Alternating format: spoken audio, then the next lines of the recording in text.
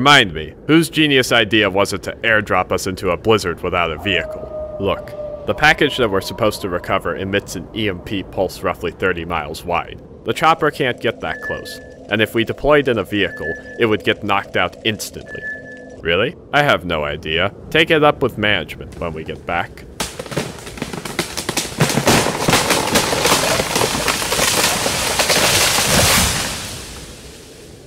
If we get back.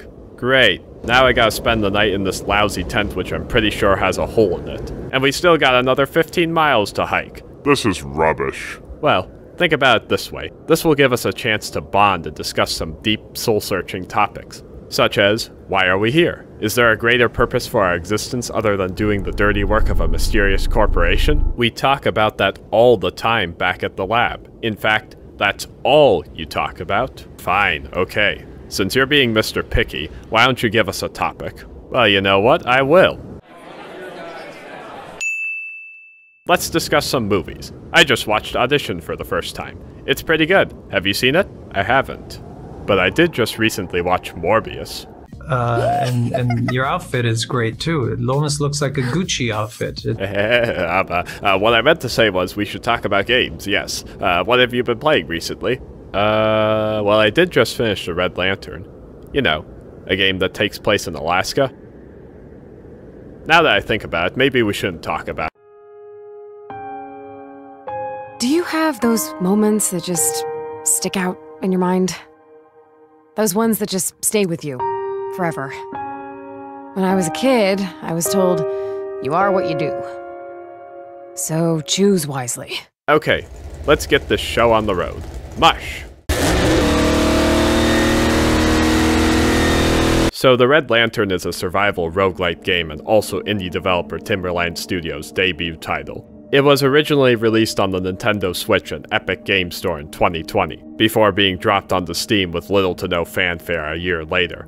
I hadn't even heard of this game until a friend of mine bought it for me during the 2021 Steam Winter Sale. Scanning the store page and user review section indicated that I was not alone, as the game only had around 20 reviews at the time. Most of the reviews are positive though, suggesting that this could potentially be a hidden gem that deserves more exposure.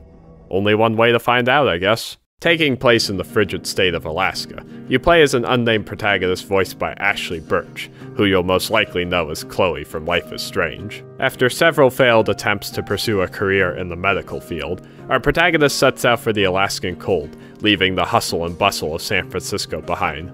Accompanied by her canine, squirrel loving companion named Chomper, she seeks out a new life as a sled dog racer, since that was her dream job as a child. Margot, a friend of the family and former sled dog racer, has given the protagonist a map to her old cabin, which is where she used to train her team before each race. After assembling a sled dog team of her own, our protagonist must successfully navigate the dangerous, frozen wilderness and reach Margot's cabin, which is marked by a red lantern hanging near the door. As always, let's start with the game's presentation. Instead of going for a realistic look, the Red Lantern presents us with a stylized depiction of the Alaskan wilderness. And to be honest, it works.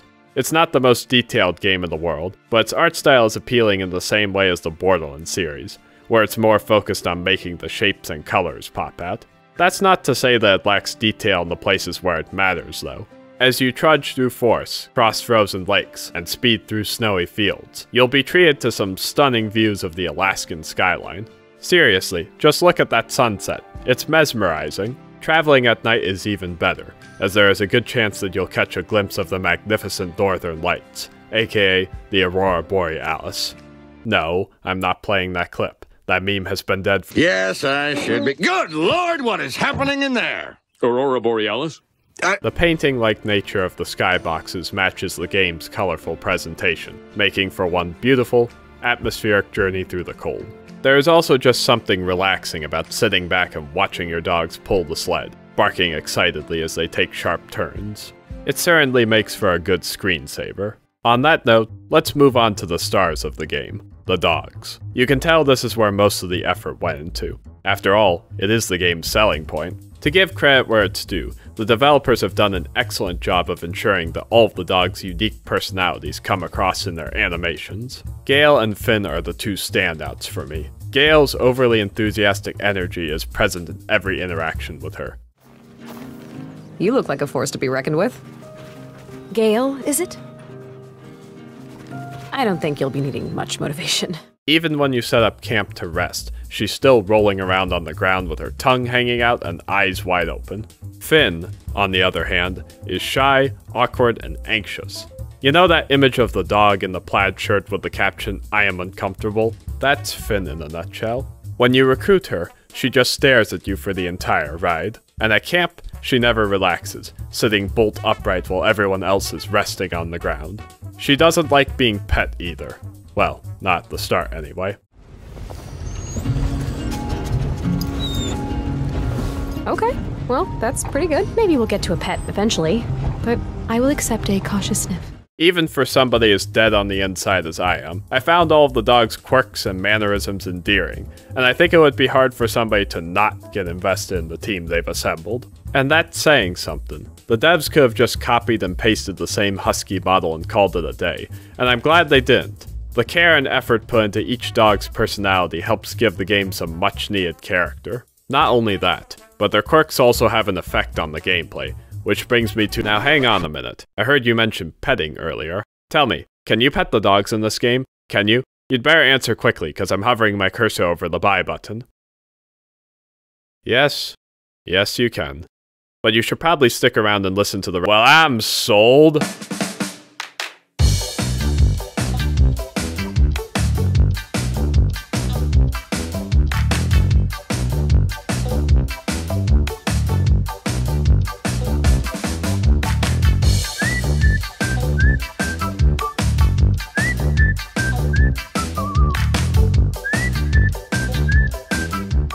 I'm sure this has heightened your interest in the game, but why don't you stick around and find out if the gameplay is actually any good first before speeding off? Now let's talk about that. I mentioned at the beginning of this review that the Red Lantern is a survival roguelite, but what type of survival roguelite? Well, I'll keep it simple. It's the Oregon Trail, or if you're cultured, the Oregon Trail. If you're familiar with the structure of those games, you'll know exactly what to expect from the Red Lantern, i.e., resource management and looking after your crew, in this case your dogs. You're not in danger of dying from dysentery or zombie bites in here though. This time your biggest concerns are starving and freezing to death. Those are more pleasant ways to go out, right?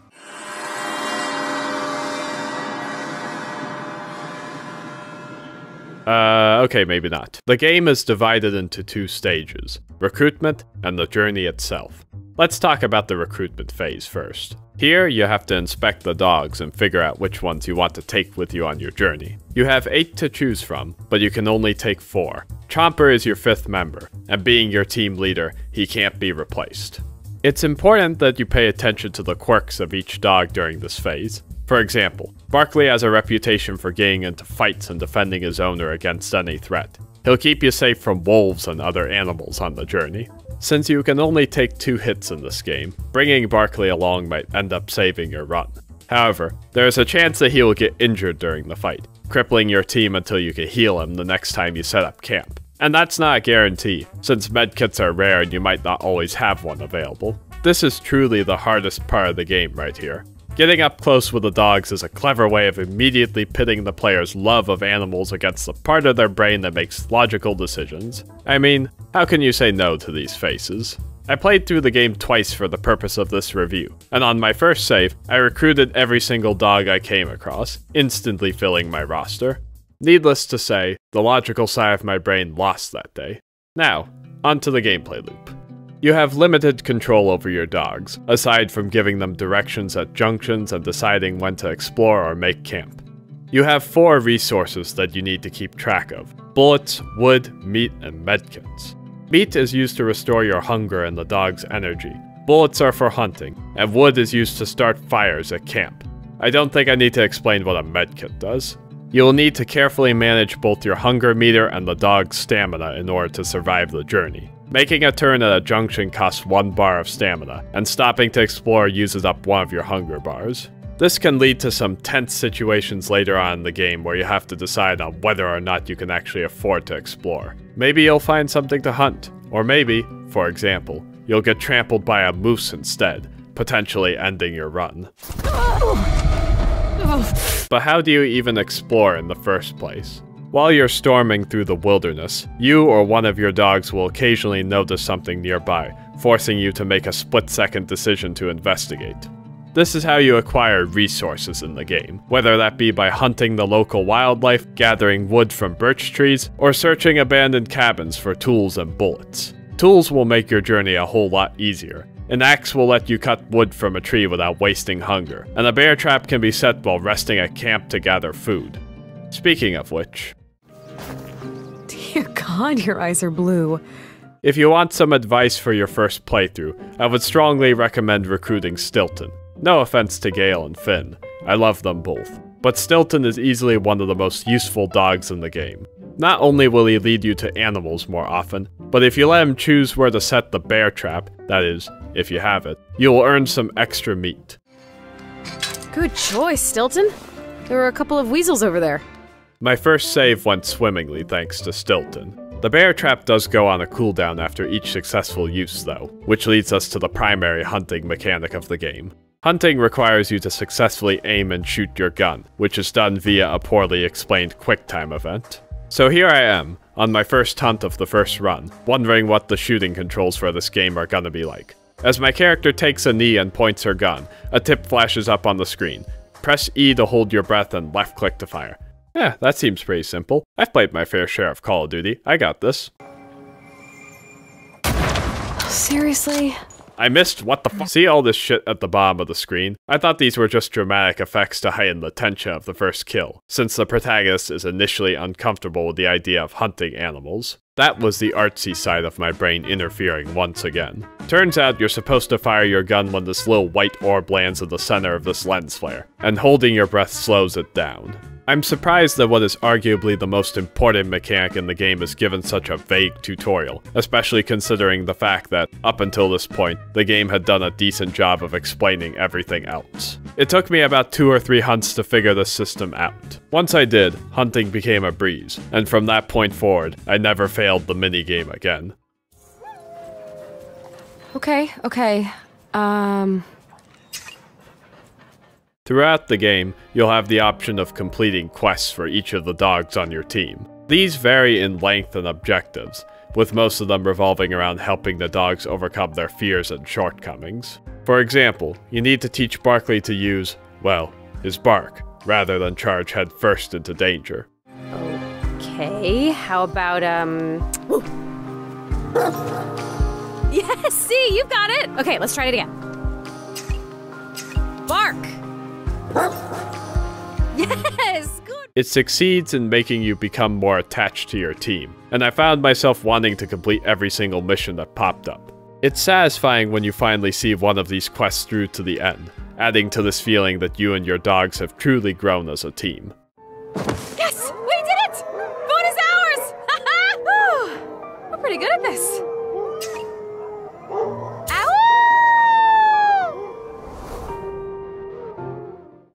But how does the game handle its roguelite elements? Well, this is where it stumbles a bit. Before I go on, yes, I did enjoy my first couple of runs, and on the whole, I think I would recommend the game. But at the same time, I found that the Red Lantern lacks that addicting quality that I've enjoyed in other roguelites, and there are a few reasons for that. So let me explain where the roguelite elements come into play. When either you or your dogs bite the dust, you wake up in the van, with the implication that your failed run was a nightmare. Actually, the protagonist flat out says it was just a nightmare. A nightmare. Okay, well, at least I have an idea of what could happen to me out there. It was a nightmare. You'll start your next run with slightly more resources, as well as any tools you found on your last attempt.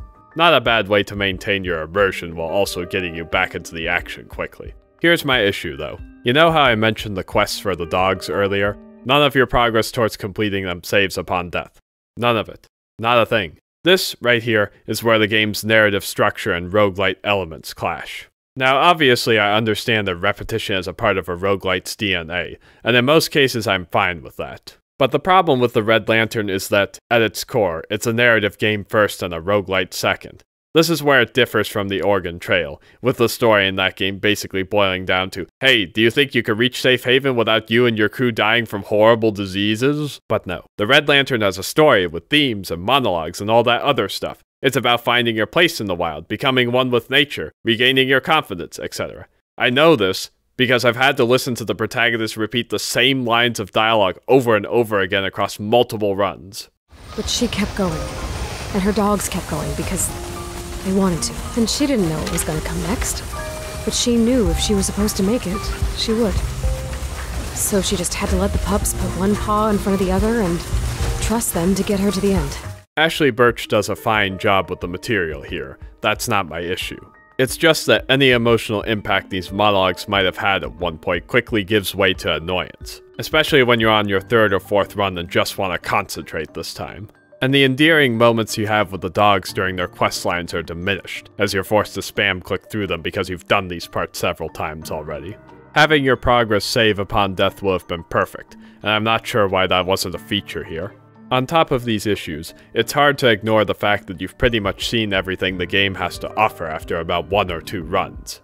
Considering the fact that roguelites are meant to be highly replayable, this is an issue for me. I'm not sure if the map in this game is randomly generated or not, but if it is, then I certainly didn't notice. On my second save, with the exception of bringing along different dogs, it played out pretty much the same as my first save. I had that tense encounter with the bear again, I saw the large herd of caribou and the frozen deer multiple times. You get the idea. It just needed more variety, that's all. More events and encounters, maybe. Or how about this? Different weather conditions. I was kinda surprised that the game didn't have these to begin with. How cool would it have been to try and seek shelter from an ice storm or navigate your crew through an intense blizzard? Oh, a blizzard, huh? Gee, I wonder where you got that inspired idea from. Hey, can you shut your mouth? At the very least, give us a new map to venture through after beating the game. Maybe it's more difficult, and maybe you can find new dogs to recruit along the way. See? I would have been all over that. Okay, let me dial it back a bit. As I said earlier, I still mostly enjoyed my second run, and honestly, I'm interested in seeing what this studio does next. But I had no desire to play through the game again afterwards, and I think the price tag is a bit steep for a game that, all saves and runs combined, I put about four and a half hours into. So, now that all that's out of the way, should you play the Red Lantern? As much as I've ragged on it in the second half of this review, I'm still gonna give it a thumbs up, but wait for a sale before picking it up. The Red Lantern's charming premise, colorful visuals, and simple gameplay make for an entertaining ride through the cold, but it lacks the depth and replayability of other roguelites. Your canine companions help liven up the experience, and I fell in love with each of their different quirks and personalities. And don't worry, you can pet them. If that's all you're looking for, then this game will keep you entertained for one or two playthroughs. But if you're looking for the next addicting roguelite to sink your teeth into, you're better off searching elsewhere. Either way, I'd recommend picking it up during a Steam sale. And that's the way the news goes. Thanks for tuning in, and I hope to see you in the next video, which will probably be an old and mostly forgotten on that 2012 Syndicate game or binary domain. I haven't decided yet. Actually, you know what? Leave a comment down below on which one you'd like to see. Ho ho! What a cheeky way to boost viewer engagement under the guise of indecisiveness. You've really taken to this whole YouTuber thing, huh? What's next? A sponsor from a microtransaction filled mobile game? No, of course not. But have you ever heard of NordVPN?